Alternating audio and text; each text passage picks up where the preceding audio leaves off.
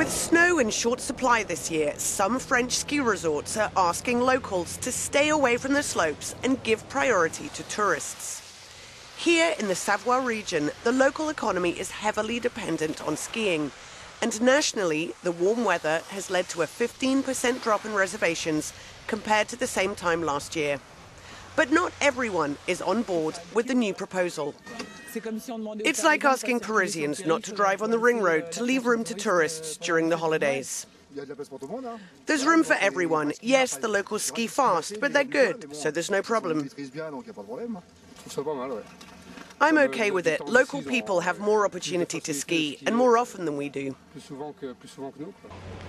The appeal to locals is entirely voluntary, not a ban, but a call to citizenship. And many are happy to comply.